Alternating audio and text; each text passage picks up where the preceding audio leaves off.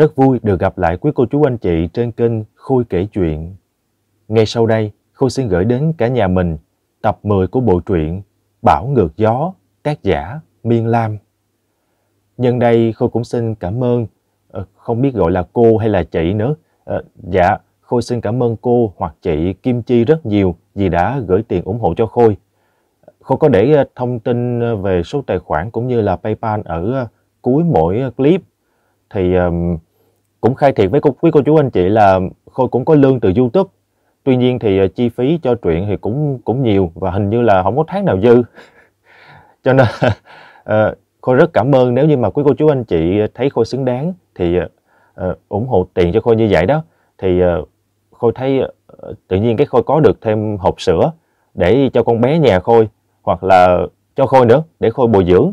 Và đặc biệt hơn đang trong lúc ừ, Khôi đang bị bệnh như vậy nè thì tự nhiên uh, cô hoặc chị Kim Chi uh, gửi tiền ủng hộ khiến cho Khôi ấm lòng và rất là rất là cảm động ờ, nói ra hơi ngại quá.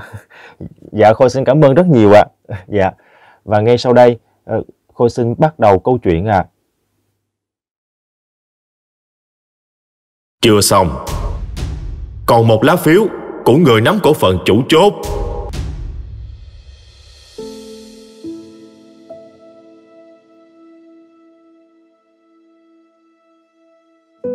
Hàng mừng rỡ, còn một lá phiếu sau.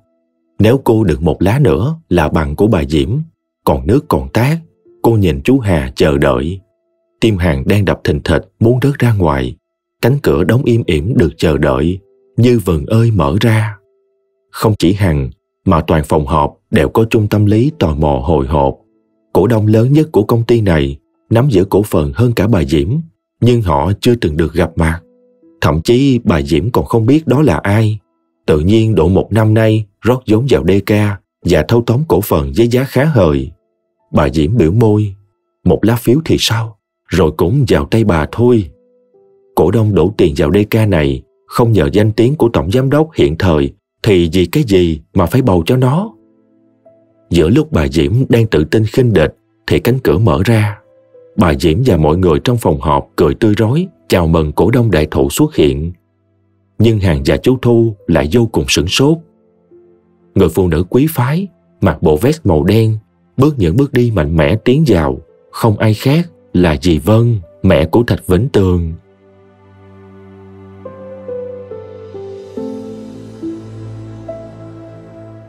Hàng ôm ngực không thốt ra được câu nào. Cô còn cảm thấy bà liếc mắt sang mình một cái. Chào tất cả cổ đông của DK. Rất vui được diễn kiến các vị. Tôi không làm mất thời gian nữa. Anh Thu công bố giúp tôi. Hồ sơ ở đây. Bà Vân đưa tập hồ sơ cho chú Thu rồi ngồi ghế bên phải bà Diễm. Chú Thu nhìn vào tờ giấy đã có dấu mộc đỏ, mừng rung. Chúng nhìn sang hàng rồi giống dẹt. Bà Phạm Thị Cẩm Vân trình các vị giấy tờ chứng minh là cổ đông lớn nhất của DK. Đồng thời, bà Vân chuyển nhượng cho cổ đông Đồng Vi Hằng 20% cổ phần. Cô Đồng Vi Hằng có tổng cộng 56% cổ phần của DK. Toàn quyền quyết định mọi hoạt động của công ty này.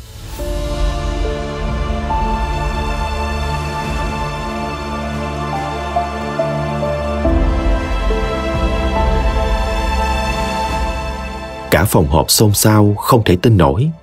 Mới tuần trước, cổ đông giấu tên đã giao dịch với họ giá cả cao gấp đôi cổ phần. Họ cứ tưởng sẽ được một món hời lớn khi có một nhân vật đại gia đầu tư vào công ty. Tại sao người đàn bà kia lại chuyển nhượng cổ phần cho con gái của ông Long? Họ có quan hệ gì? Bà Cẩm Vân mang dáng dấp quý phái và nhã nhặn nhưng lại vô cùng quyền lực. Bà lướt qua một lượt, lạnh giọng. Với quyền chủ quyết hoàn toàn tuyệt đối, cô Đồng Vi Hằng không cần thông qua bỏ phiếu mà có thể lên chức ngay từ sáng hôm nay. Ai có ý kiến gì không? Tất nhiên là chẳng ai dại dột mà ý kiến trước một con người quyền lực như bà Vân. Mà không, trước sếp mới là Hằng. Họ quay ngoắt 180 độ, nhìn cô cười lấy lòng. Hằng thầm nghĩ, thật đáng sợ, những con người lật lọng. Bà Diễm nhìn Hằng với vẻ mặt không thể căm thù hơn, không thể hiểu nó lôi đâu ra một cái cây cổ thụ như thế. Bà ta đã điều tra tất cả các mối quan hệ xung quanh Hằng nhưng chưa từng gặp người này bao giờ. Bà Diễm nén cơn giận, đưa tay ra. Chào bà, rất hân hạnh. Bà Cẩm Vân cười nửa miệng, hơi nhíu mày khó chịu và không hề đáp lại, quay sang Hằng. Con chuẩn bị tinh thần ngồi vào ghế tổng giám đốc đi. Trong ngày hôm nay, bà Kiều Diễm sẽ hoàn tất chuyển giao công việc cho con luôn. Hằng mừng đến muốn khóc. Cô không biết phải làm sao để cảm tạ. Dì Vân luôn miệng khuyên cô buông bỏ thù hận, mà giờ lại âm thầm chống đỡ cho cô thế này. Gì, gì à, cô con... Giờ này vẫn còn gọi là gì được à? Không coi tôi là mẹ chồng phải không? Hàng cười tích mát, nghe tiếng mẹ chồng ngại ngùng không thôi. Vậy là dì Vân chấp nhận cô sao? Con, con, con, con ngượng lắm. Ờ, cô con, con chưa quen. Ba người ríu rít nói chuyện với nhau rồi đi ra khỏi phòng họp, để lại người đàn bà xáo quyệt dương nanh căm thù nhưng không thể làm gì. Bà Diễm tức giận đến độ phải nhắm mắt lại, nuốt cơn nghẹn ở cổ mãi, nhưng nó không thể trôi xuống. Đứa con gái ngu dốt của bà sao lại để mất một hũ vàng như thế? Chân tay bà Diễm lẫy bẫy, gương mặt tô phấn tô son, giờ đỏ loét như hòn lửa đáng sợ. Giấy tờ trên bàn bị bà ta ném tung tóe trong phòng họp. Bà Vân, chú Thu và Hàng xuống sảnh đã thấy Tường đứng chờ sẵn. Anh đứng dưới ánh nắng mặt trời, nghiêng đầu nhìn cô cười rạng rỡ. Hàng rất muốn lao về phía anh để kể cho anh nghe chiến trường hôm nay. Nhưng ngại gì Vân, lại thôi. Tường mở cửa cho mẹ ngồi vào ghế sau. Hàng cũng bước vào. Lúc cô đi qua, Tường nhìn cô cười tinh nghịch, bàn tay khẽ chạm vào ngón tay út, khiến tai cô hồng lên. Tường trong vẻ ngượng ngùng của cô, cố thu lại nụ cười, nhưng không được. Nó cứ lan dần đến mang tai. Bà Vân nhìn hai đứa trẻ, tủm tỉm cười. Hai cái đứa này chắc là không muốn tôi ở đây đâu nhỉ? Để tôi với anh Thu gọi taxi về vậy. Ấy, gì? À, à, không phải đâu, con phải đi cùng gì chứ. Con còn muốn hỏi gì nhiều thứ nữa. Muốn biết cái gì? Sao dì lại biết con đang thu gom cổ phần của DK? Dì là người mua lô đất vàng ở khu tái định cư của DK đúng không? Sao không biết? Cái ý định trả thù từ năm này qua năm khác hiện lên trên mặt con mà dì không biết hả? Hai cái đứa này thật là gặp khó khăn cũng không thèm nói với mẹ một tiếng. Mẹ không có tay trong ở DK thì cũng không bao giờ biết thời gian này hai đứa phải lan lộn thế nào. Dì con nghĩ Dì khuyên con không nên trả thù. Ngày trước, con chưa đủ lông đủ cánh. Bây giờ đã vững vàng và gai góc, có thể tiếp quản DK được. Dì ủng hộ chuyện trả thù. Ơ, à, DK là của dì, con con không dám. Con cũng không đủ tự tin điều hành. Không làm được thì có thằng Tường hỗ trợ. Cổ phiếu đó là quà cưới cho hai đứa. Nếu biết ơn mẹ thì sống thật hạnh phúc. Đừng như bố mẹ hai bên. Tường nhìn hàng qua gương chiếu hậu, anh cười. Mẹ yên tâm, chúng con sẽ hạnh phúc. Hàng nhìn dì Vân cảm kích, chưa bao giờ cô nghĩ đến mình sẽ được dì Vân ủng hộ thế này. Một năm ở Hà Lan, số lần dì Vân nói chuyện với cô đếm trên đầu ngón tay. Đến tận bây giờ, bà chẳng hề cười với mình một cái. Nhưng cô lại thấy ấm áp đến lạ. Đúng là không phải ai lạnh nhạt nghiêm khắc với mình cũng là người xấu.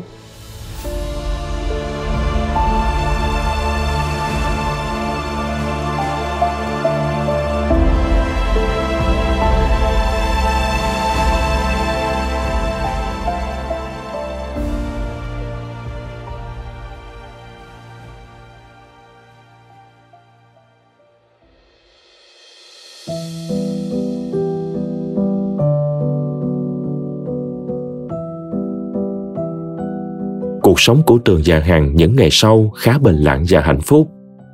Hằng tiếp quản lại công ty của bố, có phần bỡ ngỡ và khó khăn, nhưng được sự ủng hộ của mọi người. Cô cũng tìm lại những cộng sự của bố ngày trước về làm lại và sa thải những bộ phận yếu kém ăn không ngồi rồi. Công ty chưa thể vượt lại được ngày một ngày hai, nhưng cũng coi như là tạm ổn qua những tháng ngày giông bão. Ban ngày cô đi làm, tối về chơi với con, khung cảnh của một gia đình vô cùng hạnh phúc Bích Na đã gần được 3 tuổi, xinh xắn và đáng yêu. Na hồng như trái đào mật, môi đỏ rực chúng chiếm mũm mỉm, má bánh đúc xệ xuống tận cầm, lông mi cong dút đen nhánh, tóc dành ngang trán như cái mũ nồi trông lại càng đáng yêu. Mít thì nghịch ngợm hơn, thích ôm cổ, thích được làm theo lời mẹ Hằng, thích được mẹ Hằng thơm. Mẹ Hằng sai đi lấy gì là lon ton chạy đi, chạy lại đưa má ra để mẹ Hằng yêu một cái lấy công. Hằng cảm thấy mình càng ngày càng yêu con, không nỡ rời xa một bước nào. Cô cũng không muốn sinh đẻ làm gì nữa. Hai đứa bé này là cô đứt ruột đẻ ra. Dù không phải trứng của cô thì vẫn là tự mình mang sinh tháng nặng. Con đã thiếu thốn nhiều tình cảm. Hằng muốn bù đắp tất cả những gì có thể cho chúng.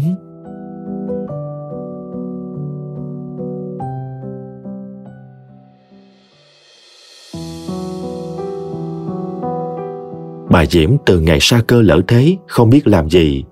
Tiền bạc đã đổ hết vào các vụ kiện tụng và mua chuộc cổ đông cũng không còn nhiều.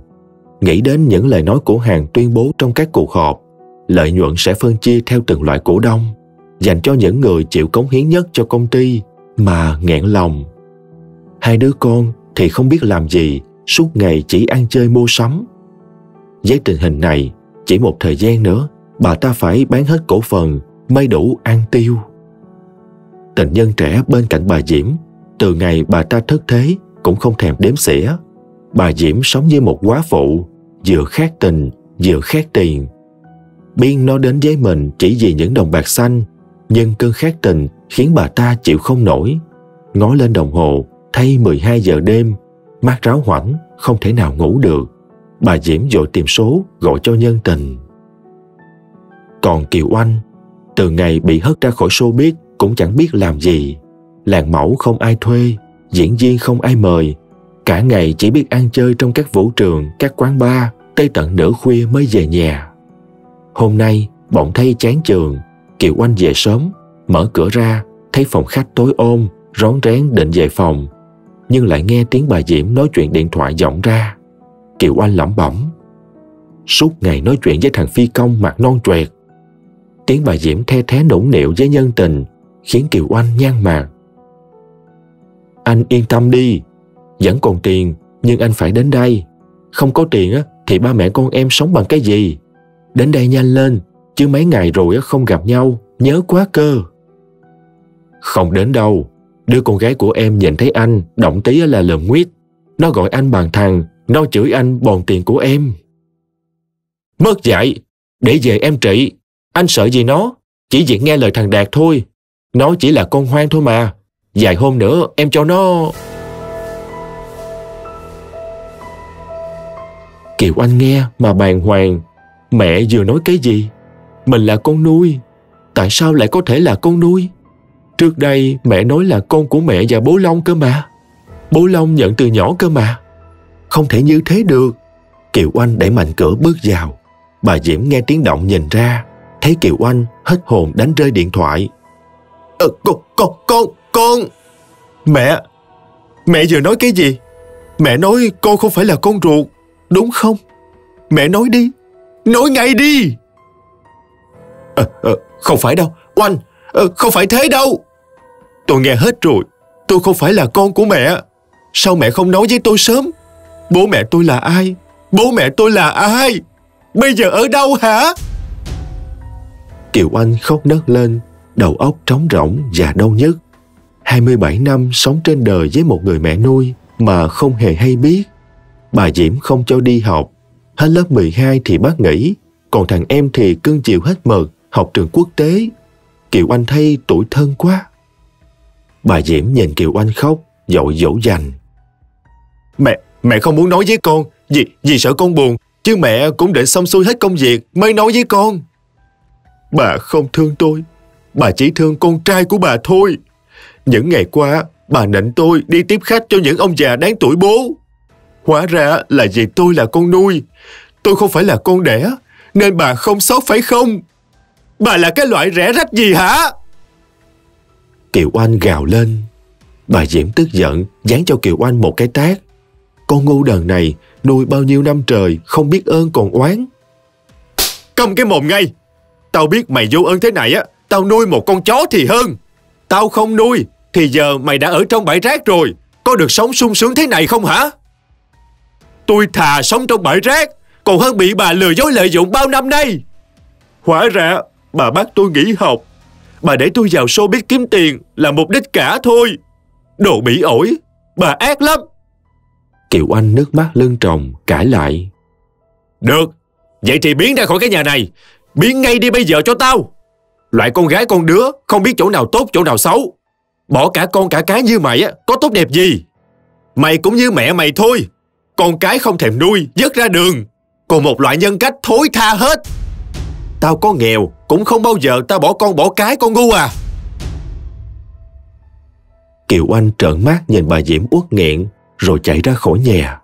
Câu cuối cùng của bà Diễm Mày cũng như mẹ mày không thèm nuôi dắt ra đường khiến Kiều Anh đau đớn vô cùng. Hóa ra cô ta là kết quả của một bào thai sai trái mà mẹ cha cô không thèm nhận. Nghĩ đến hai đứa con mình đã dứt bỏ, Kiều Anh càng tuổi thân hơn. Hai đứa trẻ sau này sẽ gọi con kia là mẹ. Nó sẽ chẳng hề biết mẹ ruột nó là ai như mình. Kiều Anh bỗng gạt nước mắt chạy đến chung cư của Tường.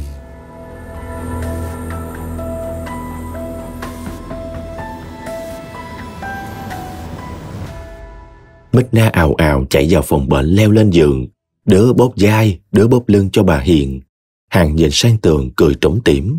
Cô phải cất công dạy dỗ cho hai đứa lấy lòng mẹ Hiền, là mặt mẹ khó đăm đăm. Tường cũng không biết phải làm sao, loay hoay một lúc rồi sang phòng bác sĩ. Anh sang phòng bác sĩ hỏi xem tình hình thế nào. Con nghịch quá, làm mẹ mệt thì gọi anh nhé. Anh đi đi, đừng lo. Con ở đây chơi với bà ngoan lắm, Tường đi rồi, bà Hiền mới giãn gương mặt ra một chút. Hai đứa trẻ hết đấm lại xoa, thơm trùng trục vào má, sờ sờ vào nếp nhăn trên gương mặt bà. Bà Hiền thở dài, không thể ghét nổi hai đứa trẻ này. Miệng cười toe toét, để lộ mấy cái răng sữa vừa nhú. Quá đáng yêu. Mẹ thấy Mít Na đáng yêu không? Na làm ông cụ cho bà ngoại xem nào. Na bò xuống giường, lưng cúi lông không, tay giả dờ chống gậy, bước nghiêng bước ngửa, mặt nhăn nhăn nhó nhó, làm cho bà Hiền không thể nhịn cười. Bà bế cúi lên, thơm vào má con bé, cười khanh khách. À, cuốn của bà yêu quá, giá mà hai đứa này là con ruột của mẹ Hằng thì tốt biết mấy. Hằng à, họ có lấy lộn trứng của con không? Mẹ thấy nó giống con lắm. Hàng phì cười, Tường và dì nụ cũng suốt ngày nói cô giống con hơn Kiều Oanh. Chắc có lẽ cô và chị ta cùng cha nên có chút giống đây mà. Không có đâu mẹ, người ta lấy trứng của chị ta trước nuôi trong ống nghiệm thành phôi rồi mới cấy vào bụng con mà. Ờ, đau lắm hả con? Không đau chút nào luôn. Phôi ổn định, người ta mới cấy vào.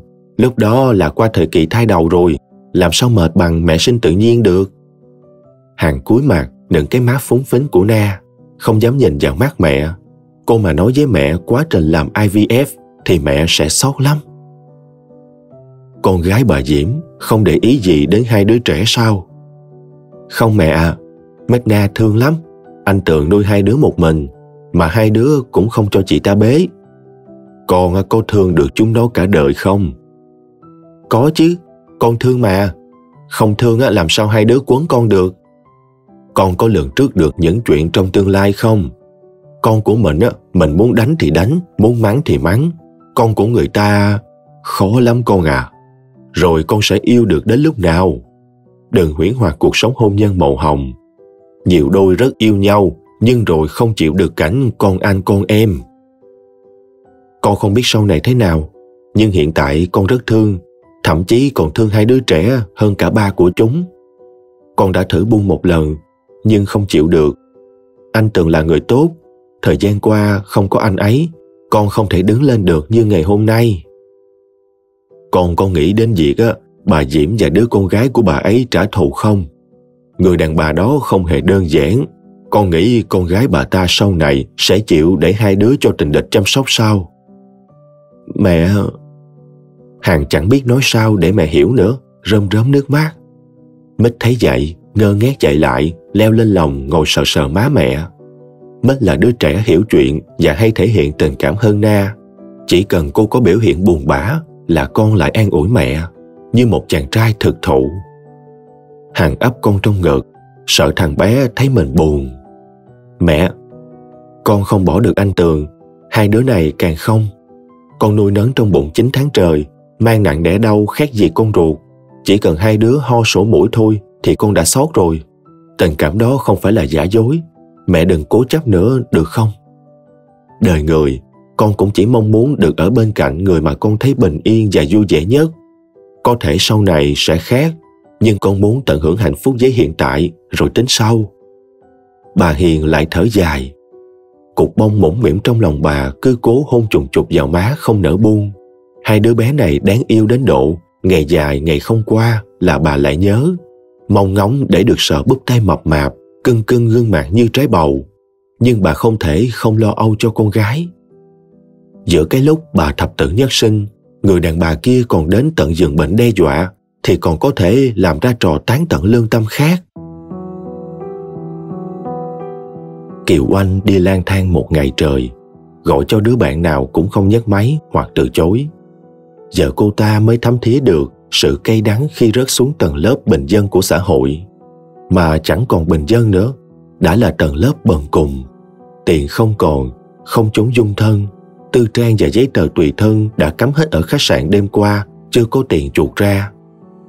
Kiều Oanh không chịu được, đành phải về nhà. Bà Diễm thấy mặt Kiều Oanh khinh khỉnh nguýt dài một cái, không có tiền lại mò mặt về đây mà. Kiều Oanh ngồi vào bàn ăn, lấy thêm đũa thêm bát, cứ như không có chuyện gì xảy ra. Bà Diễm nhìn sang há hốc mồm. Con này nó đứt dây thần kinh xấu hổ rồi. Mày được đấy, thế là tao nuôi báo cô mày à? Để tôi ăn xong đi, rồi nói gì thì nói. À, cái con này. Bà Diễm nhìn sang, thấy con trai cũng đang ăn cơm, không nói nữa. Thằng Đạt mà biết, nó lại bù lu bù loa lên. Bà Diễm nhìn gương mặt phờ phạt của Kiều Oanh, rồi mắt lóe sáng. Bà ta ung dung ngồi xuống ăn cơm bình thường, cũng như chưa từng có chuyện gì xảy ra. Kiều Oanh ăn lưng bụng, chẳng thèm nói một câu, rồi đứng lên đi vào phòng mình. Nằm trên chăn ấm đệm êm, mây thoải mái một chút. Nghĩ lại, nếu như bà Diễm không đưa mình về nuôi, thì có khi giờ nằm trong bãi rác thật. Hai ngày lê thê ngoài đường mới thấy quý giá cuộc sống sung sướng như thế nào.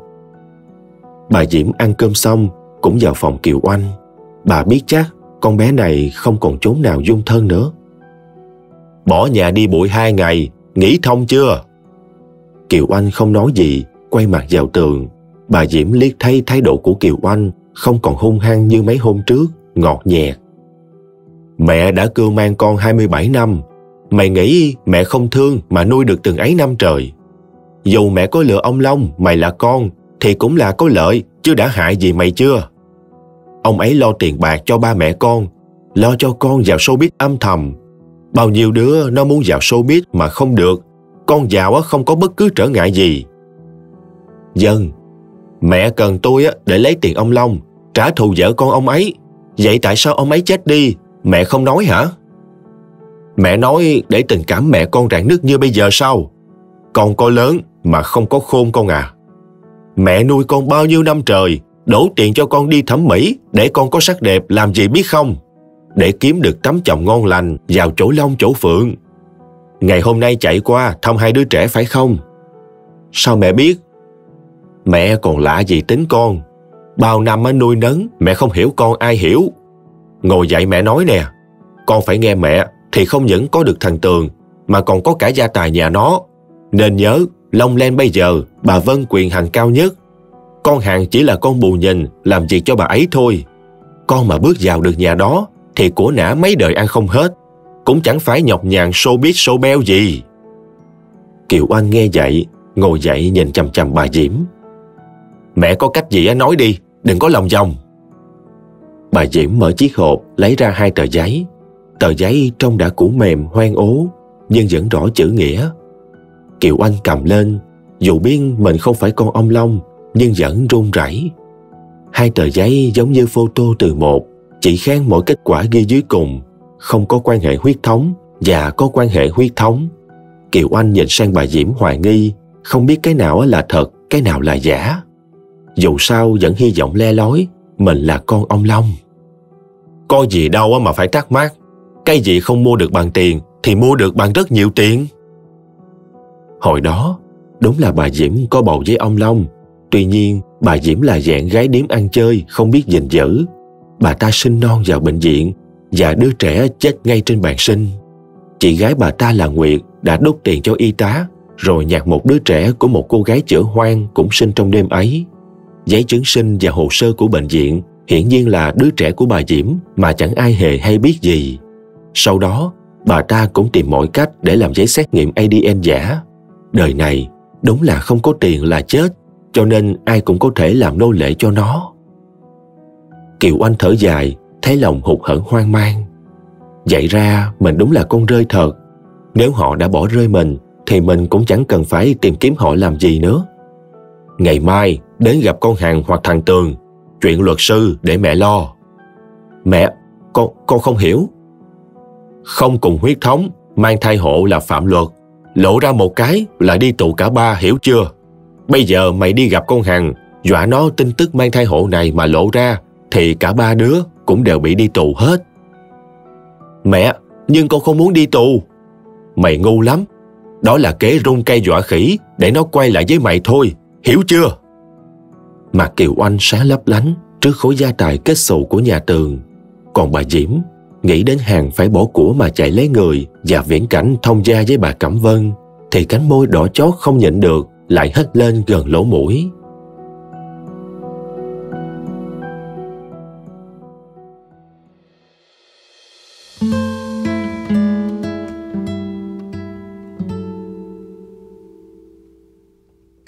Đầu thu, gió mùa về lành lạnh, dễ chịu và lãng mạn cho những cặp đôi yêu nhau.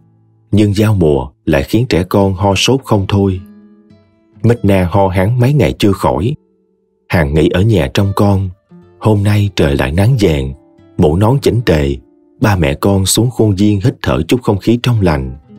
Hàng đưa tay lên che mặt, rồi lại mở ra ú òa với mít na. Hai đứa trẻ khoái chí cười sàn sạc, tay chân mập mạp đạp dùng dãy. Cô lại bịt mắt rồi mở ra. Chợt thấy gương mặt hoa da phấn ngay trước mặt, giật mình khựng người lại. Hàng lướt mắt xung quanh. Trời mùa thu, các bà đưa cháu xuống sảnh rất ít. Kiều Anh đến đây làm gì?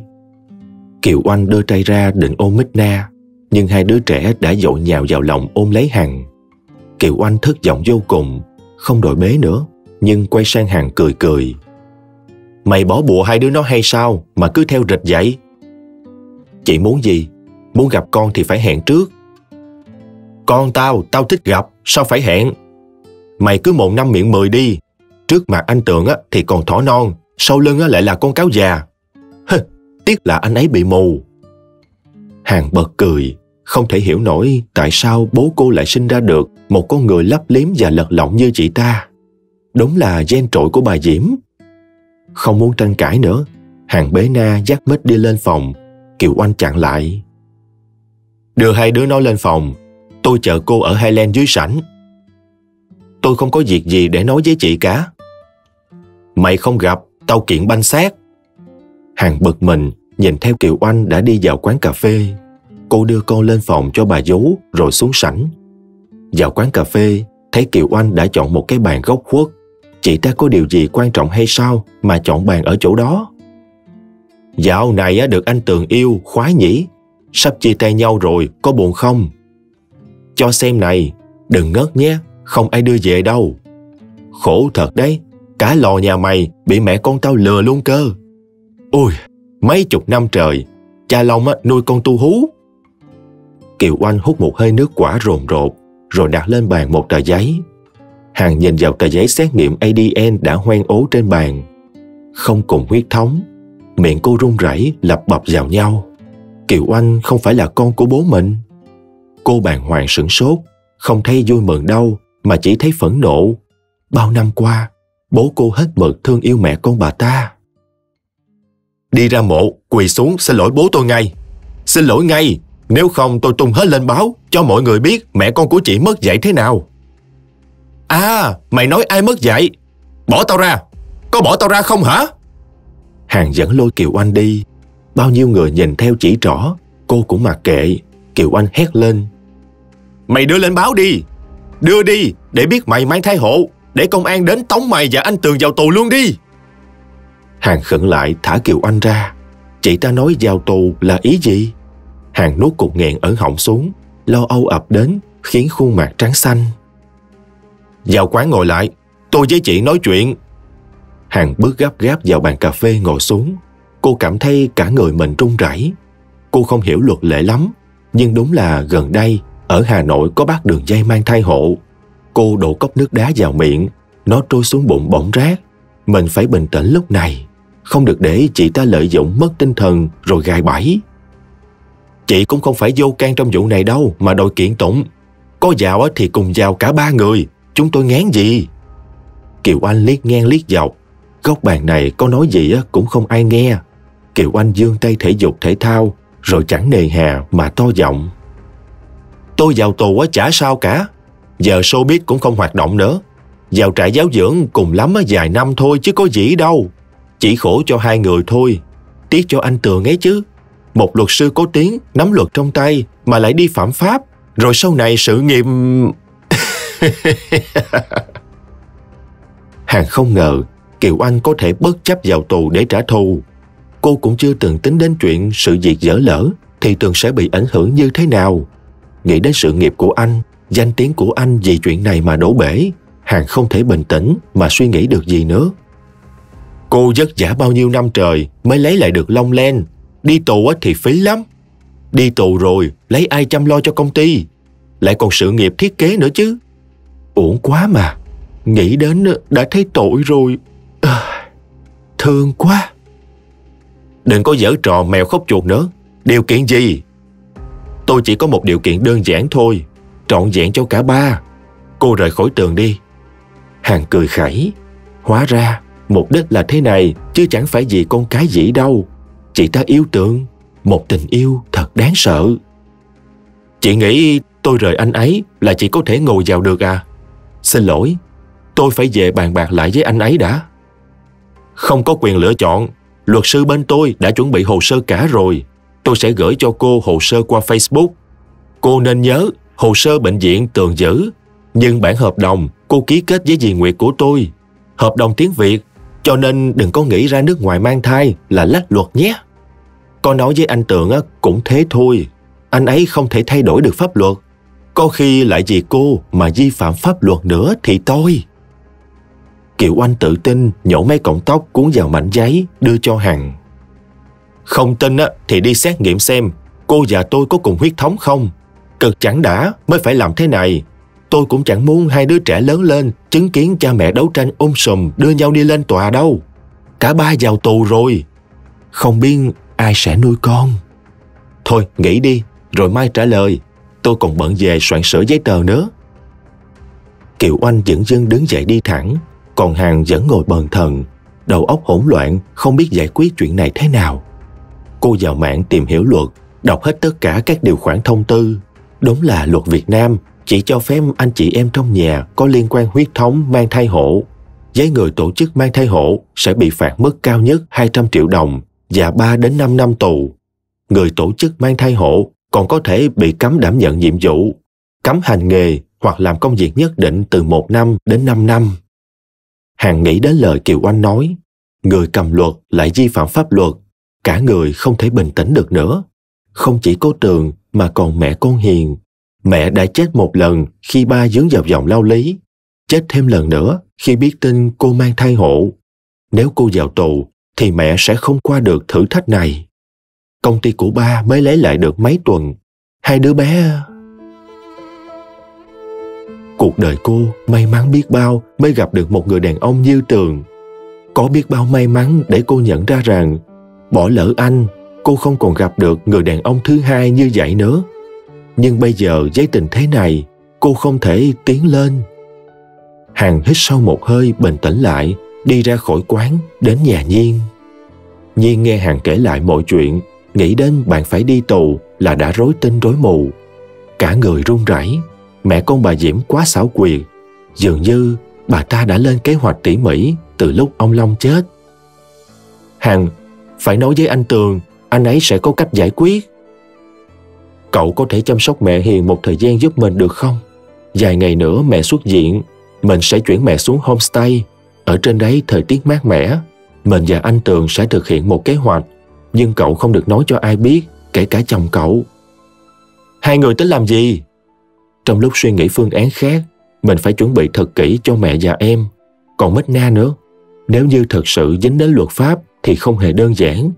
Mình và anh Tường sẽ lên một kế hoạch khác để cả mình và anh không phải dính dáng đến pháp luật. Kiều Anh đã gian bẫy.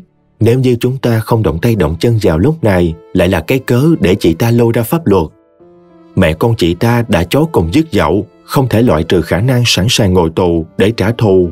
Kế này sẽ xử dứt điểm Kiều Anh, không để chị ta cứ lộng ngôn như thế mãi được. Nhiên nhìn sang gương mặt không có chút thần sắc nào của bạn. Có thể hiểu được, Hàng sẽ phải chấp nhận yêu cầu của Kiều Oanh. Tiền đồ của một người đàn ông xây dựng thành công như anh Tường không phải dễ. Ý chí, nghị lực, kiến thức và sự cạnh tranh không hề nhẹ nhàng trong giới luật sư. Còn sự nghiệp của Hàng nữa, không dễ dàng thỏa thuận được với con rắn độc Kiều Oanh. Nhưng hai người này đã rất khó khăn mới ở được cạnh nhau. Cô tin tưởng Hàng và Tường sẽ có cách, cho nên chấp nhận lời Hằng.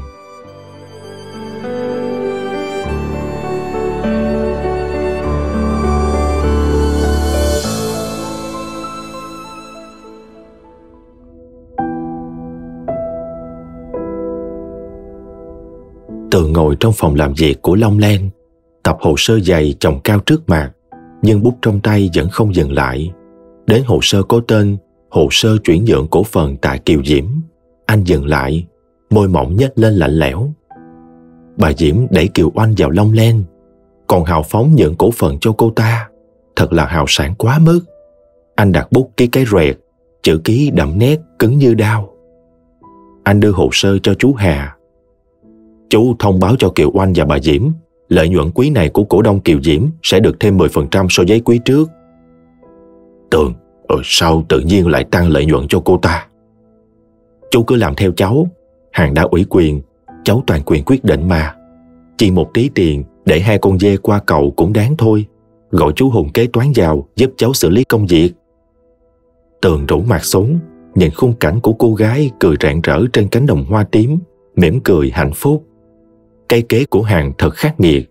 Anh đi lại cửa sổ nhìn xuống dưới, lá sấu đã ngã sang màu vàng sậm. Gần cuối thu, hương hoa sữa lác đác trôi nhẹ trong không khí. Hàng đang làm gì bên ấy? Bỉ đã vào đông rất lạnh, cô ấy có mặc áo ấm không? Anh nhớ Hằng, nhớ đến quay quát, nhớ đến độ không dám bước chân về nhà. Nhìn đâu cũng có hình ảnh của cô. Tường làm việc đến đêm muộn, khi mát không còn chịu được, tay đánh máy mỏi nhừ mới về đến nhà. Nhờ những cơn mệt mỏi kéo mình vào giấc ngủ. Hàng ở bên kia, bước chân ra khỏi trường đại học, ngẩng đầu lên nhìn đám lá thu vàng rộn trong đáy mát. Thu đã già, mùa đông sắp tới. Cô đặt tay lên trái tim mình, ước hẹn một ngày, mùa đông sẽ cùng anh ngắm hoa thạch nam trên đất Hà Lan. Mùa đông năm nay cũng đến muộn, nhưng cô sẽ đợi, đợi đến khi nào mọi chuyện kết thúc. Từ ngày sang đây, Hàng không có thời gian nghỉ ngơi. Buổi sáng cô đi học, buổi tối làm thêm lấy kinh nghiệm ở hãng thời trang. Đêm về lại thức trắng để lo thủ tục giấy tờ tại Việt Nam. Hôm nay có buổi hẹn với Joe. Học xong, cô lại dội dàng bắt xe về Hà Lan. Joe đã chờ hàng tại quán cà phê cạnh kênh đào của thành phố Apodon yên bình thơ mộng. Hàng nhìn thấy anh từ xa, đưa tay vẫy vẫy. Người đàn ông baby vẫn như mấy tháng trước, áo polo trắng, quần thể thao xám năng động. Joe đứng lên ôm chầm lấy cô. Hàng hết hồn, dội đẩy ra. Joe, mấy hôm nay không gặp trở lại, đúng là trai tay rồi đấy. Chúc mừng anh. Joe nghiêng đầu nhìn Hàng, cô gái Tràng An lâu lắm không gặp, nhưng vẫn xinh tươi và đáng yêu như ngày nào. Mùa đông đã đến với Apodon. Hàng mặc áo mang tô dài màu đen, quàng thêm chiếc khăn len màu đen, gương mặt trắng nõn lọt thỏng trong chiếc khăn trông lại vô cùng mỏng manh đáng yêu đến độ người khác nhìn chỉ muốn che chở thôi Joe thở nhẹ, kiềm chế trái tim mình đang đập loạn. Giờ cô ấy đã có người khác. Dẫu ở bên cạnh anh có bình yên, cô ấy cũng không chọn anh. Có phải con đường trong gai người ta bước đi thấy giá trị hơn không? À, bánh táo và bánh gừng cho em đây. Hằng mỉm cười không từ chối, cầm một miếng bánh apple ta cho lên miệng. Ngon quá, vị táo chanh vẫn như ngày nào. Ăn hết một miếng bánh, cô mới nhìn Joe hơi ngại ngần. Anh Joe, chuyện em nhờ anh á, có thành công không? Có, anh không thành công cũng phải thành công thôi. Joe đưa cho Hàng tập hồ sơ dày. Hàng nén thở mở ra xem. Tất cả hồ sơ mang thai hộ và bệnh án mỗi lần cô đi khám thai đều đầy đủ. Joe, em không biết phải cảm ơn anh thế nào nữa. Nếu không trả ơn bằng một trái tim được thì không cần làm gì cả. Hàng ngẩn người một giây rồi cầm cốc nước ép lên uống. Cô nhìn xuống những chiếc lá vàng lăn tăn dưới mặt hồ. Nửa đùa nửa thật, nói Em có một trái tim để hít thở. Cho anh là em tắt thở luôn đấy. Mà cũng nhờ người khác mới hít thở được đấy. Vẫn là cách từ chối rất thẳng thừng và khéo léo như mấy năm về trước. Joe chịu thua hoàn toàn. Anh không thể thắng nổi người đàn ông kia. Cho dù có dùng chiến thuật nhất cự ly nhị tốc độ, cũng chẳng lấy được ở người ta chút tình cảm nào. Joe quyết định sau lần này sẽ không gặp hàng nữa, để tránh càng gặp càng thấy đau. Hàng tạm biệt Joe, ôm hồ sơ đi dọc khu thương mại thành phố Apodon. Khu thương mại ở trung tâm thành phố vào cuối tuần đông nghịt người. Suốt quãng đường đi đến trạm tàu điện ngầm, cô đã đi lướt qua vô số người xa lạ. Có người giống cô, cũng có một mình đi giữa cảnh tượng dội dội vàng vàng. Nhưng cũng có top 5 top 3 cười đùa vui vẻ. Bên tai cô là nhiều âm thanh hỗn tạp từ máy móc truyền thông số đến con người. Nhưng có lẽ càng đông đúc, Hàng lại càng cảm thấy chỉ có một mình. Cô nhớ anh và hai đứa trẻ quá. Nhìn những gia đình vui chơi bên bờ kênh Apudon lại càng nhớ. Hà Nội vào mùa đông, đông Hà Nội lạnh cắt da cắt thịt, ở vùng núi lại càng lạnh hơn. Magna đã chuyển lên homestay ở hạng với mẹ Hiền và được vợ chồng Tú bảo vệ. Nhưng cứ đêm về, Hàng lại không khỏi lo lắng. Hôm nay con có tròn giấc không? Con có nhớ mẹ đòi mẹ không? Magna đã biết nói câu dài, đã biết chồng ghẹo lại mẹ trong video, biết đòi mẹ trở về đi.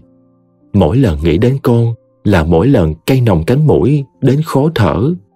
Trong lòng Hằng luôn hiện diện một nỗi lo lắng mơ hồ. Mình không được làm mẹ hai đứa trẻ nữa. Hằng sụt sịch không dám xem ảnh của con. Cô truy cập vào mạng nội bộ của Long Len. Có vẻ tường cầm ghế giám đốc làm ăn còn phát đạt hơn cả cô. Mới chỉ hai tháng, nhưng lợi nhuận cuối quý đã tăng lên rất nhiều. Hàng xem đi xem lại video các cuộc họp. Dán mắt vào anh, không nhịn được mà cong khóe môi. Người đàn ông trên tòa đã hấp dẫn, phong thái làm việc lại càng hấp dẫn hơn. Dạo này, dường như Kiều Oanh khá im hơi lặng tiếng. Ngoại trừ Facebook cá nhân cập nhật thường xuyên hình ảnh của một nữ doanh nhân tại Long Len, còn ngoài ra không có gì khác biệt. Hàng cười nhẹ, có vẻ chị ta nghĩ cô bỏ cuộc thật, lại còn dám yêu sách tường vào Long Len làm việc, lại ngày càng có cơ hội được gặp tường. Nghĩ đến chị ta được giáp mặt anh, Hàng thấy mình như cắn phải ớt. Ngày trước cứ nghĩ không yêu, ghét cái tính ít nói lạnh lùng kiêu căng của anh, giờ lại say như điếu đổ, dội vàng nhắn cho anh một cái tin. Anh không được nhìn Kiều Oanh đâu đấy. Bên này, Tường nhận được tin nhắn của Hằng, cười rộ lên. Mấy ngày không chịu nhắn tin, gọi điện thì không nghe, giờ lại chủ động thế này ư. À, hóa ra Hằng của anh còn biết ghen nữa đấy. Tường cảm thấy vô cùng hạnh phúc, nhắn lại. Anh chỉ có một đôi mắt mà lại để ở Hà Lan mất rồi. Chịu khó chờ anh nhé, anh xong việc sẽ sang ngay với em.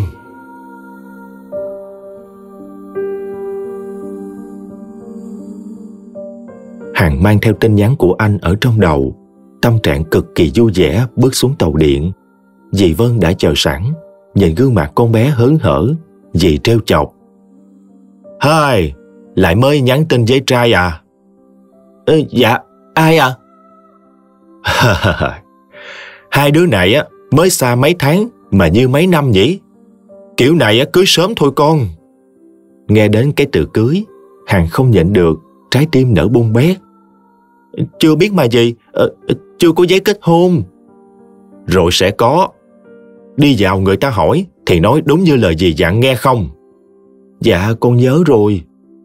Sau mấy dòng tra khảo xác minh thông tin, thì Hằng được cầm tờ giấy hẹn xác nhận ngày trả lời nhập tịch Hà Lan. Ờ, dì ơi, ờ, phải chờ người ta xét duyệt 6 đến 18 tháng thôi. Dì lo cả rồi, chỉ là thủ tục thôi. Cứ sống tốt thì cái gì cũng giải quyết được. À, dì ơi, còn bản hợp đồng chỗ Kiều Anh nữa. Thằng Tường bên kia sắp lấy được di chúc gốc rồi. Thằng Tường có thường trú bên đây, Mít Na quốc tịch Hà Lan thì di lý sang Tây xét xử thoải mái. Ở Hà Lan mang thai hộ là hợp pháp mà. Con lại mang thai tại đây thì không có vấn đề gì. Cụ tổ con oanh có đâm đơn kiện ở Việt Nam cũng không ai xử được. Như thế đã hết lo lắng chưa? Con không hiểu luật pháp, chứ con mà biết con Kiều Oanh không thể kiện được, thì con ở nhà với anh Tường, chứ sang đây làm gì nữa? Nhớ muốn chết à? À, con bé này, sang đây á, thằng Tường còn tập trung xử lý công việc, để hai đứa gần nhau á mà yêu cả ngày, rồi làm việc sao được? Nhưng, nhưng Mít Na, nó được 3 tuổi rồi, theo rít làm gì? Để nó tự lập đi, lo mà tắm bổ, người như cái xác ve, rồi đàn ông nó chán đấy. Hàng lót tót chạy theo dì Vân, hạnh phúc không thể nào tả nổi. Những ngày qua, cô sống trong nơm nớp lo sợ sẽ bị Kiều Oanh cho ra ngoài ánh sáng lúc nào không hay. Bây giờ đã có thể thở phào nhẹ nhõm mà tập trung học tập được rồi. Hôm nay thành phố Apudon đẹp quá. Mùa đông, nhưng vẫn lấp ló những tia nắng dưới tràn cây sồi. Dì Vân nổi hứng kéo hàng đi mua sắm. Bà nói là phải túc lại nhan sắc cho con dâu để mai kia, thằng con trai bà còn nhận ra vợ mình chứ.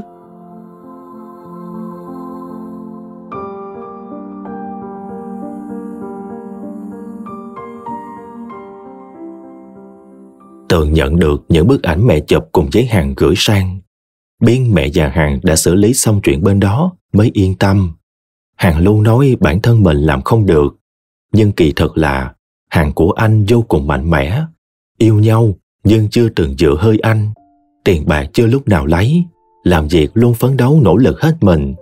Anh sẽ chẳng bao giờ tìm thấy người thứ hai ở thế giới này. Anh chịu nỗi nhớ dày dò một thời gian. Hợp lực cùng cô ấy tạo ra màn kịch để đưa mẹ con bà diễm vào hang có xử lý dứt điểm một lần, thì hai người mới có thể sống yên ổn hải gõ cửa bước vào, vui vẻ đặt một tập hồ sơ trước mặt tường em vừa phi đến sở tư pháp lấy đó sếp Nắng muốn tè lưỡi luôn à. Cảm ơn cậu. Báo kế toán tháng này thêm 10% lương. Hải há mồm kinh ngạc. Quả là yêu đúng người. Từ hồi dập vào bà Hằng, thoáng hẳn ra. Hải dội lướt ra cửa thật nhanh. Nhớ kết quả cái tờ di chúc đó không ổn thì cháu cũng không có mà hớp. Tường dội xé bì thư, hồi hộp đến độ ngón tay run rẩy. Những dòng chữ hiện ra trước mắt khiến cả người anh bay lên nhẹ nhõm hoàn toàn đúng với sự suy đoán của anh. Bà Diễm chỉ được hưởng 20% tài sản, mẹ con hàng được 80%. Vậy là người đàn bà xáo quyệt đó đã thay đổi di trúc. Chú Hùng đi ra rồi, tường kết nối với Tú, chỉ đơn giản một câu. Tiến hành đi. Bên kia đã cười hùng hột khoái trá. Đến thời của bà Diễm rồi. Bà Diễm vừa bước xuống ô tô thì một chiếc khăn ẩm chụp vào mũi rồi bà ta bị hai thằng đệ tử ràng rây của Tú lôi vào một cái xe khác. Chúng lái xe khỏi hầm chung cư rồi đi thẳng về hầm ba của Tú. Tú đã ngồi khệnh khạng dưới hầm, chân bát chéo, tay cầm điếu xì gà, nhìn bà Diễm vẫn còn ngắm thuốc mê, ngoẹo cổ sang một bên như con gà bị cắt tiết. Anh nôn ọe mấy cái. Mụ già này, da thịt bỗng beo nhão nhoẹt, mắt kẻ đen xì thế này mà thằng phi công nó cũng lao vào được quát thằng Ri bên cạnh. Này, bố mày có giống bà này không? Trông giống nái nhà mày nhờ. Ơ, đại ca cứ nói, bố em trẻ hơn bà ta 2 tuổi, ngon lành hơn mụ này nhiều. Bỏ đi mà làm người nghe không? Tìm mấy đứa học sinh trung học mà nuôi. Chúng nó chưa 18, em em sợ... Tao nói mày nuôi, chứ tao bảo mày thịt sao mà sợ. Anh mày trả lương thấp đến nỗi mày phải để cũ từ chịu đựng à. Hỏng hết hàng họ rồi. Trên tình chị, dưới tình yêu là mày chết rồi. Thằng Ri trố mát. Anh mình mấy năm nay bị điên rồi. Mình thì cũng chẳng cần yêu đâu. Chỉ cần túi tiền của các bà ấy là đủ rồi. Tao hỏi mày như thế là để lát nữa mày phục vụ bà ấy, hiểu chưa? Đại ca, em xin đấy. Em không dùng hàng này. Em tuy có là phi công, nhưng em cũng phải chọn máy bay chứ. Mày chắc không? Em thề, một nái xề là em đủ khiếp rồi. Ok, được. Mày lôi thằng bồ trẻ của mụ ấy vào đây, nhét vào mồm hai đứa nó hai viên thuốc lát. Bà Diễm vừa tỉnh lại, không hiểu gì. Nhìn quanh, thấy cái nhà kho tối thui, chỉ mỗi cái đèn vàng leo lét trên đỉnh đầu. Nhìn sang bên cạnh, thấy tình trẻ, mắt bà ta lông lên sòng sọc tức giận. Tình trẻ của bà ta bao năm chăm bẩm, bị đứa nào nó đánh đến mức này. Trên gương mặt trắng bệnh màng của tình trẻ bà Diễm đầy những vết xanh tím. Đứa nào nhét bà ta vào đây? Đứa nào dám trói bà ta? Bà Diễm hét lên điên loạn. Chó má nào đưa tao vào đây hả? Đứa nào lộ mặt ra đây? Ồ, bà tỉnh nhanh thế. Sức khỏe có vẻ tốt nhỉ? Ri, đưa nước cho đôi cu cu này uống. Tú lạnh giọng.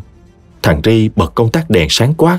Bà Diễm nhìn không quen, nhắm tịch mắt lại biểu môi. Uống đi mà lấy sức để trả lời mụ già à. Banh cái mắt diều hâu của bà ra xem nào. Bà Diễm hé mắt nhìn thấy Tú, sợ chết khiếp, ngậm mồm lại không chịu uống. Nhưng thằng Ri đã bốc mồm, đổ thẳng chén nước vào mồm. Thằng tình trẻ bên cạnh bà ta cũng cùng chung cảnh ngộ. Chúng, chúng, chúng mày làm gì? Dám làm gì? Tao báo công an đó. Bọn mày bắt người trái phép. À, thế à? Thằng Ri gọi công an đến đây cho anh. Bà có biết tôi là ai không? Buổi đêm á, tôi là chủ ba Diamond Bay, mà con mắm thối kiều anh nhà bà hay lên nhảy nhót nhé. Còn buổi ngày, tôi là chủ May Homestay. Nghe quen không hả? Bà Diễm không dám hé răng nói gì. Nghe đến chủ ba là dính dáng đến xã hội đen rồi. Con oát hằng tại sao lại có thể quen với tầng lớp này? Giờ tôi không muốn mất thời gian với bà nữa. Phải ngày trước thì tôi đã cho bà thành thức ăn cho chó rồi. Nhưng nay tôi rửa tay gác kiếm ăn chay Ngồi đó mà nghĩ đi. Tú đút tay vào túi quần, huyết sáo thoải mái đi ra. Thấy thằng đàn em xăm trổ cũng đi theo. Chỉ còn thằng Ri lôi kéo cái camera đặt ngay trước mặt bà Diễm, rồi cũng đi. Chỉ sau 2 phút, bà Diễm thấy cơ thể mình rạo rực, rồi cơn nóng bừng bừng khắp người khiến bà ta hốt hoảng. Bà ta nhìn sang bộ phi công, cũng thấy da dẻ nó đỏ âu, ánh mắt chuyển sang màu đỏ rực dâm đảng. Bà Diễm giờ mới hiểu lúc nãy mình bị uống gì rồi. Chân tay bị trói, không thể nào bước ra được, mà cả người lại khát tình dữ dội, không thể nào chịu nổi. Bồ trẻ ngồi sát sàn sạc, phả hơi thở như lửa vào cổ, càng khiến bà ta điên loạn. Bà ta hốt hoảng nhìn vào camera to trước mặt, hét lên. Muốn gì? Muốn cái gì nói nhanh lên, cởi trói cho tao! Tú ngồi trong phòng máy cười khùng khục, nói vào mít. Bà chỉ cần thuật lại quá trình bà hát sơn bẩn thỉu như thế nào. Mày, mày, mày mất dạy! Ồ, thế à? Thế thì để tôi về học lại. Lúc nào có dạy, quay về đây nói chuyện với bà. Bà Diễm nhịn không nổi. Từng tế bào trên cơ thể của bà ta đòi hỏi trai dữ dội. Thằng bộ bên cạnh cũng thèm khát phụ nữ, cứ cố gắng cọ mặt vào cổ, khiến bà ta phát điên. Bà Diễm hét lên. Tôi, tôi kể, tôi kể! Kể tử tế, có đầu có đuôi. Tôi nghe mà không hợp lý. Tôi nhốt bà và thằng kia, mỗi đứa vào một chuồng chó. Tôi cho thêm một liều nữa mà tự xử đấy. Bà Diễm đã không thể giữ được bình tĩnh trước sự kích thích của Xuân Dược. Nhưng nghe đến chuồng chó, phải cố ghi tay vào thành ghế bắt đầu kể. Giọng nói của bà Diễm hỗn hển, lúc trầm lúc bỏng, khó giữ được bình tĩnh. Hết đoạn cần, Tú tắt loa, ra hiệu cho thằng Ri cởi trói Bà Diễm được cởi trói, phát huy thói hoang dâm vô độ của mình với tình trẻ. Bà ta không biết camera đã quay lại tất cả hoạt động của mình. Tường bật đoạn ghi âm của Tú gửi, lướt qua clip đáng phỉ nhổ của bà Diễm và bầu trẻ, rồi tắt máy. Mụ đàn bà thối nát, soạn cho bà ta một bữa xác thịt, rồi sau đó mới đến một bữa ăn bằng bát sát nằm dược xi măng.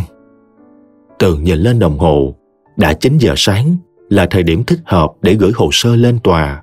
Giờ này, bà Diễm chắc cũng sắp lết được về đến nhà. Có thể đón nhận những tin tốt lành được rồi. Kẻ làm cho hàng không cười được, cũng đừng mong sẽ cười được với anh. Bà Diễm sau một đêm cuồng phong với bộ trẻ, Tố mở toan cửa cho cặp đôi dìu dắt nhau đi về. Bồ trẻ của bà ta vừa ra cửa đã mất hút. Bình thường vì đồng tiền, hắn phải nhắm mắt phục vụ một nồi thịt sống. Bây giờ trải qua một đêm khiếp vía bỏ của chạy lấy người. Bà Diễm về đến nhà vẫn tim đập chân rung, lo sốt vó clip của mình trong ba kia, không biết phải làm sao để lấy lại. Mà cũng không đoán được Tú sẽ định làm gì với nó. Mà quay trở lại để hỏi cho ra nhẽ thì lại không dám. Đang nghĩ cách làm thế nào thì nhận được tin nhắn tiền vào tài khoản. Bà Diễm quên cả cơn nhục nhã ê chề tối qua mà sướng run người. Tự nhiên ăn không ngồi rồi lại được thêm 10% lợi nhuận. Biết thế cho con oanh vào công ty sớm. Đã nói tình cũ không rủ cũng tới mà. Con oanh xinh đẹp khí chất như vậy, đàn ông nào mà cưỡng được. Mấy ông đại gia bà ta quen còn suốt ngày thèm thuồng ý ới. Kiều Anh bước vào nhà hàng, đã choáng ngợp trước phong cách Tây Âu sang trọng, liếc đến vị đại gia bụng phệ ngồi đó chờ sẵn. Kiều Anh hơi dị ứng một chút, nhưng phong cách sang chảnh như thế này là đủ biết người đó có tiền. Kiều Anh ngồi xuống cười rất tươi. Vị đại gia kia nhìn thái độ cũng biết là người đẹp đã bật đèn xanh, tay rót đầy cốc rượu, nhưng mắt vẫn dính chặt thân hình ba dòng gợi cảm của Kiều Oanh. Anh là Chu Hùng Dĩnh, giám đốc của sàn bất động sản Nam Phương. Kiều Oanh nhớ đến lời bà Diễm dặn dò, khéo léo dẫn dắt vào công chuyện. Chào anh, nghe cái tên đã thấy phát triển bền vững rồi. Anh hợp tác với mẹ em là chuẩn rồi đấy. Nói thật, em là con cái đấy, nhưng cũng phải nể phục mẹ em, làm cái gì cũng xuất sắc, kinh doanh cũng vậy. Gặp được một bậc kỳ tài kinh doanh như anh, đúng là hợp như đôi lông phụng luôn rồi. Bà Diễm nói có cô con gái vừa dỗ dang vừa khéo léo, xem ra đúng như lời đồn rồi. Nhưng mà như đôi lông phụng á, thì có vẻ không hợp lắm. Với em thì hợp hơn. Kiều Anh không hiểu lắm, nhưng vẫn cười tích mát trước lời khen của vị đại gia. Em đang làm ở phòng marketing của Long Len, sắp tới có thể sẽ chuyển sang một bộ phận cao hơn. Ồ, thật vậy sao? Vậy thì chúng ta uống chúc mừng nhé. Để em xem hợp đồng đã. Chứ lát uống say á, chỉ còn nhìn thấy anh thôi, chứ thấy được ai nữa. Kiều Anh làm trong showbiz, quá hiểu những chữ ký hợp đồng trên bàn nhậu thế này. Chắc cú là ông ta đã có vẻ mê mình rồi. Vị doanh nhân kia cười cười. Em này cũng tin tưởng đấy. Ông ta uống một ngụm rượu van rồi đưa hợp đồng ra. Kiều Anh lướt qua một lượt. Bà Diễm cũng nhiều tiền nhí, có đến mấy tỷ thế này. Vậy mà định nút lợi nhuận cổ phần không sợ mắc nghẹn sao? Vị đại gia nhìn gương mặt trắng trắng hồng hồng quyến rũ của Kiều Oanh, thấy mê tơi thèm khát. Ghé sát vành tay, nói nhỏ. Ký kết gì cũng phải có điều kiện, em có hiểu không? Thật vậy sao? Điều kiện gì vậy anh? Kiều Anh lờ mờ nhận ra, hơi kéo xa khoảng cách. Em còn phải hỏi nữa à? Bà Diễm đưa em đến đây là biết rồi. Nghe nói em cũng hay ký hợp đồng cho mẹ lắm. Qua một đêm thôi là ký luôn. Lô đất này hơi bị ngon lành đấy nhé. Bán không nhanh, để lâu, phân trâu hóa bồn đấy. Kiều Anh cười khẩy. Bà Diễm đẩy cô ta đi ký hợp đồng đều có mục đích cả. Đúng là nuôi mình không khác gì nuôi một con chó. Bà ấy chẳng tốt đẹp gì với mình thì tội tình gì mình phải tốt lại. Kiều Anh nở nụ cười quyến rũ với vị đại gia. Giờ thế này nhé, em có một thỏa thuận, anh đồng ý thì em sẽ ký hợp đồng. Ồ, đi ký hợp đồng dưới cơ mà cũng có thỏa thuận nữa ư. Chứ sao, thỏa thuận này có lợi cho anh mà. Kiều Oanh chụm đầu vào bàn bạc với vị đại gia, rồi sau đó ly được nâng lên. Trong đầu hai bên đều có oan tính mưu lợi của riêng mình nhưng ánh mắt lại vô cùng tình tứ, cạn không còn một giọt. Rất nhanh chóng, món ăn trên bàn chẳng vơi đi một cọng, mà chai van đã hết một nửa. Rồi đại gia ôm riết lấy Kiều Oanh, ngồi vào một chiếc xe sang, lái dút đi. sau một đêm mệt nhoài vì ký hợp đồng cho bà Diễm, Kiều Oanh sảng khoái nhìn căn hộ cao cấp. Hồi trước yêu trường cũng có tiền, nhưng mà chỉ bằng một phần của ông Dĩnh. Căn hộ hơn trăm mét vuông, trang hoàng lộng lẫy không thể không mê. Lại nhìn thấy chiếc thẻ visa của ông Dĩnh đút vào tay hồi tối. Kiều Oanh chẳng còn cảm thấy ghê tởm khi quan hệ xác thịt với ông ta nữa. Ai bảo ông ta mê gái đẹp lại nổi hứng bao nuôi. Thà làm lẽ của người cao tuổi nhiều tiền còn hơn với người trẻ tuổi mà ví lép. Bà Diễm hẳn sẽ không bao giờ ngờ được con gái mình có thể tạo phản thế này đâu. Ai bảo bà ta chưa bao giờ xem mình là con. Đáng đời. Kiều Oanh nghĩ đến Tường cũng thấy tiếc. Vừa trẻ vừa có tiền, nhưng cô ta giờ đã không thể giới tới rồi. Gặp anh ấy còn không thèm nhìn, hai đứa trẻ không bao giờ được tiếp cận. Kiều Oanh tin chắc sẽ có một ngày Tường nhìn đến mình chỉ cần làm cùng công ty sẽ có cơ hội. Nguyên nhân tại cô mất dạy kia hết, nhưng giờ nó đã bị hất cẳng, có một tí cổ phần long len cũng không ăn thua gì. Đến lúc quay lại thì tưởng chắc chắn đã là của mình rồi. Nghĩ mà thật sung sướng, lại có chiếc thẻ quyền lực trong tay. Kiều Anh quen thói ăn tiêu xài tiền như hồi còn nổi tiếng, đi thẳng vào trung tâm thương mại sắm đồ.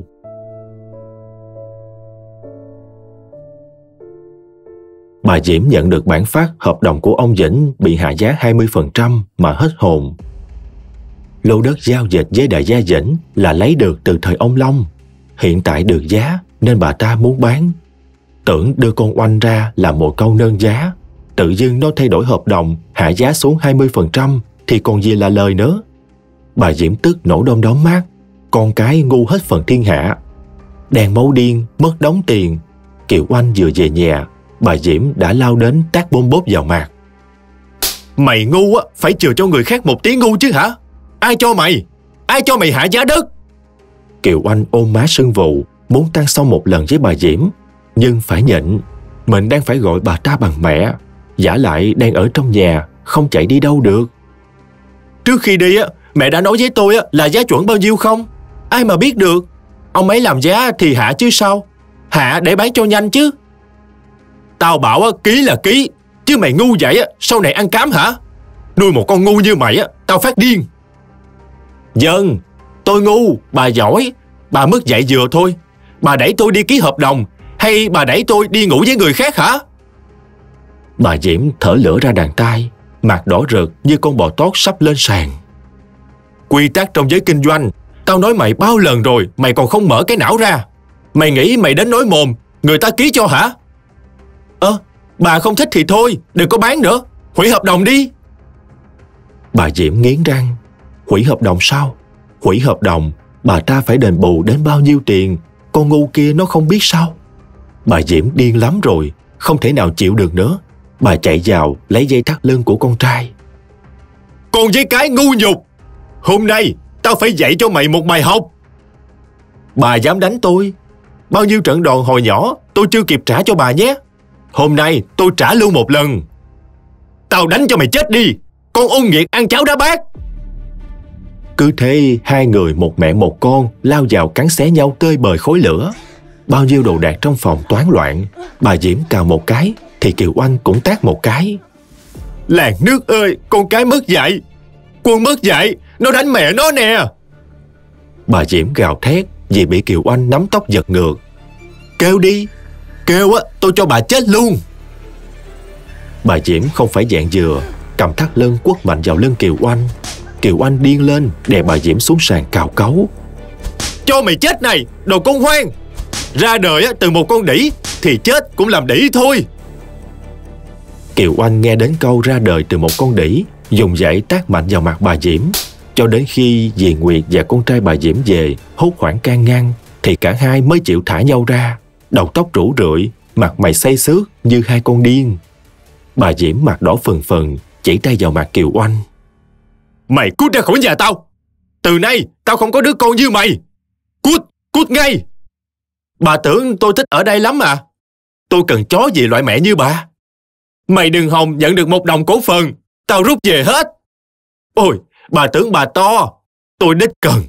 Tôi giờ ngồi mát cũng có bát vàng ăn nhé. Kiều Oanh chạy về phòng, xếp quần áo vào vali, vừa kéo vali, vừa gọi cho bồ mới. Kiều Oanh ngồi xuống sảnh chung cư, đã thấy bồ già đứng chờ sẵn. Nước mắt ngán dài lao vào lòng ông ta khóc như mưa như gió, nghẹn ngào kể hết đầu đuôi sự tình. Bồ già xót xa cái thân thể tuyệt vời mới chỉ được ăn một lần. Chở Kiều Oanh đến một căn hộ nhỏ dưỡng thương. Kiều Oanh sung sướng lắm. Đừng tưởng sao đã hết thời không kiếm được tiền. Có sắc đẹp là đào được tiền ngay thôi. Bà Diễm nhìn con ôn giật, cứ thế hớn hở đi ra khỏi nhà mà sôi máu. Để xem, ra khỏi cái nhà này, mày sống được bao lâu? Bà ta cười khẩy. Mày muốn làm sugar daddy à? Tao tiễn mày lên sau hỏa. Kiều Oanh vừa đi thì bà Diễm nhận được một tập hồ sơ là xét nghiệm ADN giữa Kiều Oanh và Hằng không có quan hệ huyết thống. Kèm theo đó là quyết định thu hồi hoa hồng và cổ phần của Kiều Oanh vì không hợp lệ thừa hưởng tài sản của ông Long. Lúc bày mưu cho Kiều Anh hất cản con hàng bà ta đã quên mất vấn đề này. Tiền hoa hồng mới về sáng nay, bây giờ mất không còn một xu. Không thể nào tin nổi, không cơn đau nào bằng cơn đau tiền vào túi lại bay ra. Bà Diễm ôm ngực, chân tay run lẩy bẩy. Chưa kịp định thần thì có tiếng chuông cửa. Bà Diễm tưởng Kiều Anh về, mừng rỡ lao ra cửa. Mở cửa ra, thấy màu áo xanh và chiếc thẻ đỏ dơ ra trước mặt. Bà Diễm tái xanh cả người. Ờ, các, các anh... Một anh công an đọc lệnh tạm giam bà Tạ Kiều Diễm vì có liên quan đến sự vụ trốn thuế, chuyển giá từ thời Long Len. Cộng thêm tội ngụy tạo di chúc, bà Diễm gần như ngất xỉu trước còng tay sáng loáng. Bị hai anh công an áp giải lên xe bọc thép tối ôm tối mù, bà Diễm bất ngờ cười ha hả. Đời bà như thế này không phải là do mẹ con con hàng mà là do con quái thai ngu nhục kia. Biết thế, bà ta không bao giờ rước nó về nuôi nấng bao nhiêu năm trời. Nuôi một con người mà nó biến thành một con cáo. Nó liếm hết đồ ăn, rồi nó đái vào bát.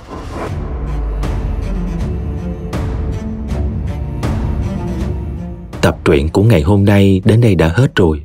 Khôi xin cảm ơn quý cô chú anh chị đã lắng nghe. Mong là những gì mà Khôi và tác giả mang đến sẽ giúp quý cô chú anh chị có những trải nghiệm thật ý nghĩa. Khôi mong được quý cô chú anh chị ủng hộ bằng cách like, share và đăng ký kênh à. Xin chúc cô chú anh chị ngủ ngon. Xin chào và hẹn gặp lại.